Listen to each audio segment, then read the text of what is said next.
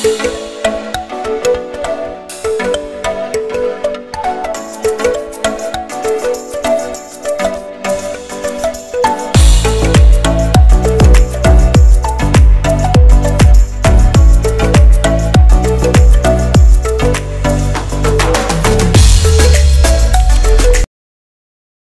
hi!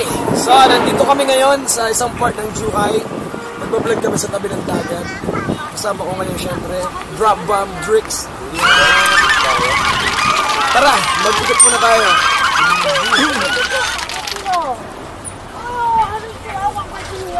Pinapakita namin sa inyo mga paborito namin spot. Kung saan kami madalas mag-bike. Mamaya pupunta tayo doon, doon, doon, doon, sa kabila, sa ano, sa border ng ano, Macau i ano lang, dagat lang. Yan, ganyang kapiraso lang nga nag-divide sa Macau at Juhai. Hindi mo pwedeng languyin kasi pag nilanguyin mo, babariling ka. Pwede na naman, one time mo malalangoy. Kung kaya mo sisigil simula dyan hanggang doon sa kabila, pwede.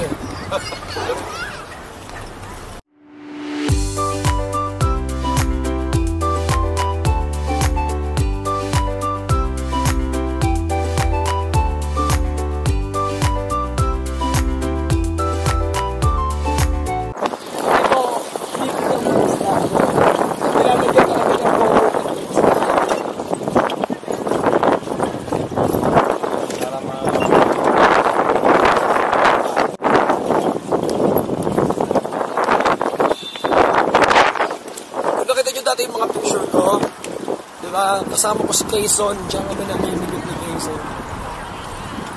Si Quezon, yung dati naming DJ, Chinese DJ. Mas kuya, ang laki ng pangisda doon. Laki ng huli dyan, may ano dyan. May karpa, may tilapia.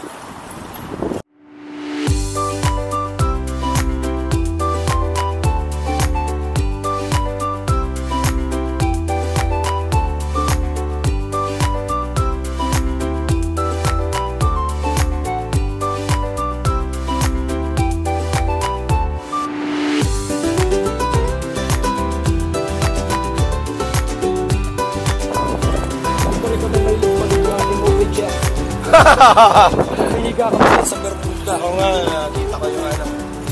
Dadala kami ng pagkain. Nagawa kami ng sandwich. Picnic kami. Tapos magkukwentuhan kami ng ano, buhay. Buhay namin ha, hindi buhay ng iba. Ayun, tapos, drama. Marami nagpipictorial dito. Parang ito, si ano, Rosana Roses.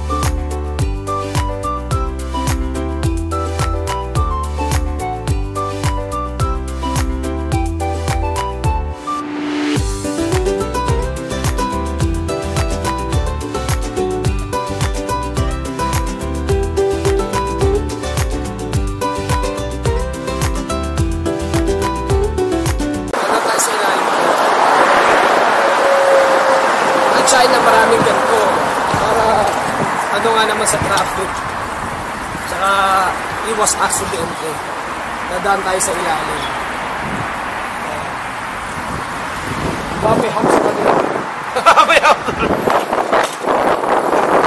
Umakyat ka lalo dito. Electric bike saka wheelchair. Baka biglang Walang linis, walang panghe, vandals. So, kahit ganyan-ganyan ang mga incheck, marunong sila mag-maintain. May balance ng konti, pero wala yung mga ili. Ano? Walang panghe. Kahit sabihin mong paladura sila, pero kita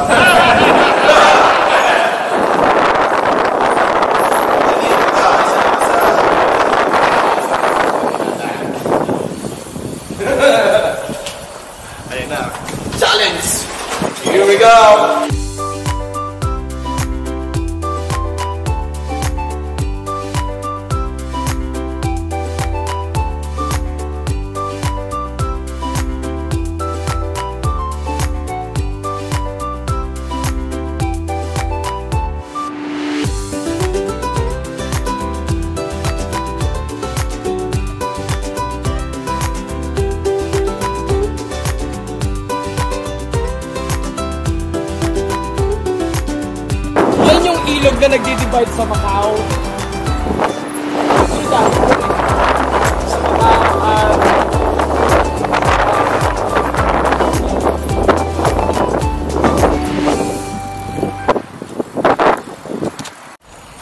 Kaya gustong gusto ko din tong Juhay, napakalinis.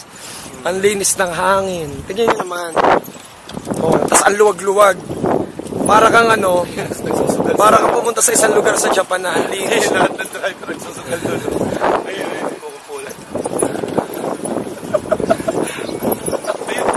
Yan, Macau na yung kabila. Ayan, yan, Macau yan. Ayun yung Grand Lisboa, oh. Namimiss ko tuloy Jollibee. Ayun yung win.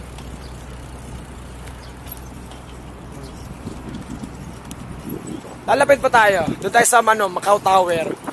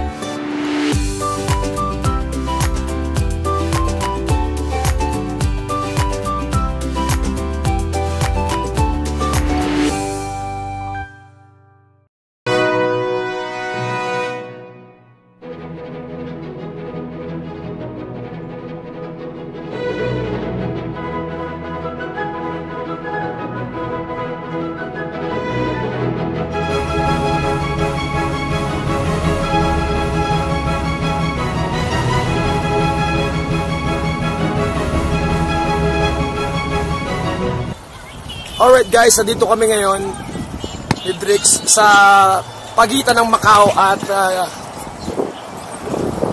Zhuhai. Ayan. Ayan lang, oh, ganyan lang kalit ang pagitan, no? Ayan, oh. Kita nyo may watchtower, may sundalo sa loob. Kasi binabantayan yung border. Yan. Border yan. Ayan, oh, kita pa may sundalo. Diba? Lagi yung umiikot dyan. Ayan yung Grand Lisboa. So, ayan, ikaw na yan. Ang liit na yan, no? Pag lundag mo dyan, lalangoy ka lang ng konti, nasa Macau ka na. Eh, ba't mo naman gagawin yun? Eh, luwag-luwag naman ng Macau sa ano. Pareho naman China yan. Magkaiba nga lang ng ano, ng pamamalakad. Kumbaga, SAR yan, parang Macau, ah, Hong Kong. Special Autonomous Region, pero China pa rin yan. Bakit nga ba may Macau at ba't may Hong Kong? Nung panahon ng ano, 1800s, 1898 o 1897, may emperor nun. Yung emperor nun, bata pa. So, ang talaga nagpapatakbo, si Reina Dowager Cixi. Yun. So, dahil babae siya, ginegera no, ginera no ng ano, ang Macau at ang Hong Kong. Portugal sa Macau. British sa Hong Kong. So gumawa ng treaty. Bibigyan nila ng ilang milyon na ano, ilang milyon na silver ang Hong Kong pati Macau plus pwede nilang hawakan yun ng 100 years. Yun, kaya kaya laging ganyan. Natutunan kayo. Sooner or later, 100 ah, bi, ano 1 million mahigit na bara ng ano ha bara ng silver ha pure silver yun ang pera ng China dati tingnan mo diba may kalachuchi pa video natin o restaurant to kabila ayan o kita nyo Grand Lisboa Macau Tower. Kabila lang.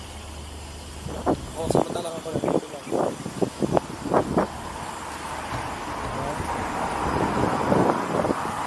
Oh, mas maganda, Juhai. No, Drix. Matagal si Drix sa Macau. Mas malaking ginanda, ang malaking ganda ng Juhai kaya sa Macau. Ayun, nakita niyo yung mga building ng Macau oh, kumpara sa building ng Juhai. Ayun, oh. casino lang nagpaganda sa ano. Sa, Oo, oh, sa- ginawa lang niya kasi sa China, bawal ang sugal sa mainland. Sorry, it's DJ.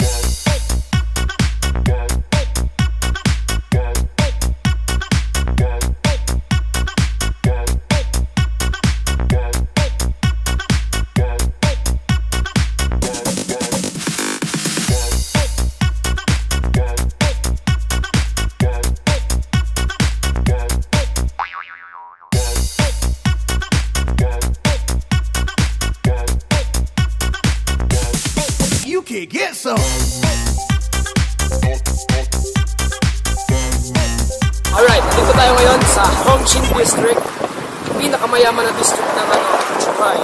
Halos lahat ng mga mayayaman ng Macau may ng Chukai. Dito pumili ng bahay. Kita nyo naman yun, no? Mayaman sa... St. Regis Hotel. Grand Theater. Eh, Grand Theater gawa na, oh. Kabila niyan, Macau lang mismo. Kita nyo naman sa tabi. Ayun, oh, Macau. Pwede mo lang languyin. Kung hindi ka mapaparin.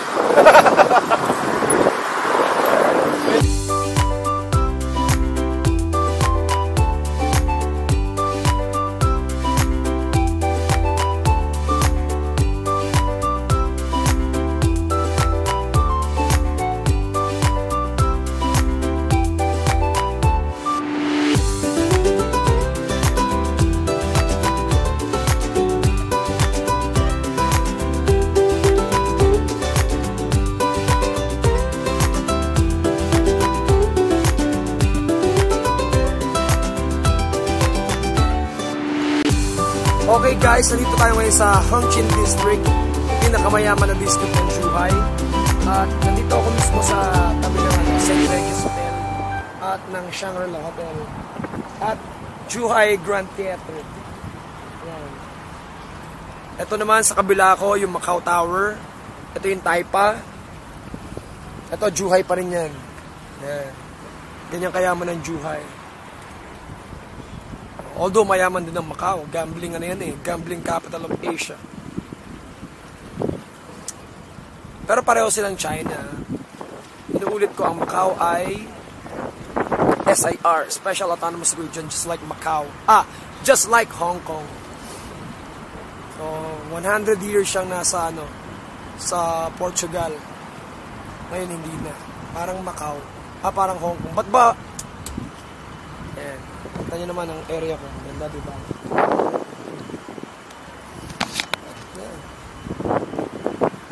Ay, si Drix, oh. Nangungulila.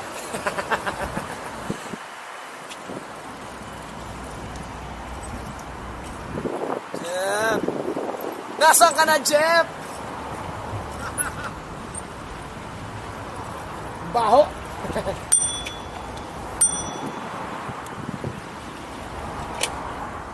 Yan, nagbabalik tanaw si Drix sa kanyang pagpunta sa Macau.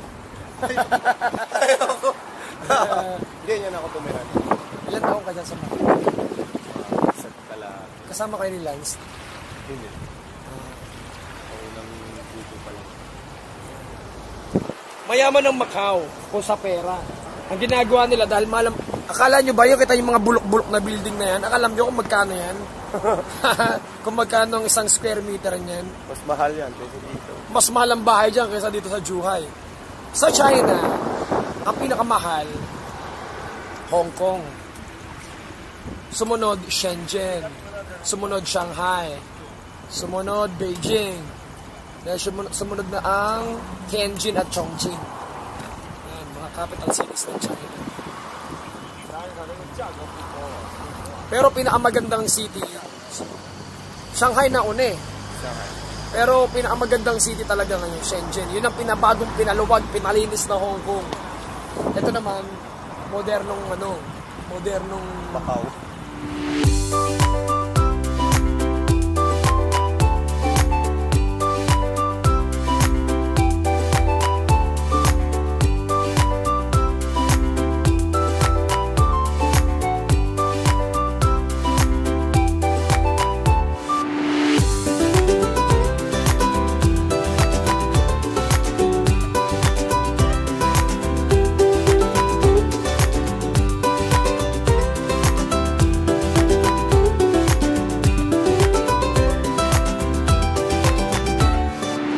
Yung mga patataas na building na yun, yan yung border, yung, yung Huafa building. Ang pinakamayaman na office, pinakamayaman na company sa Zhuhai, yung Huafa. Lahat ng mga mamahalan na bahay dito at properties, pag-aari ng Huafa.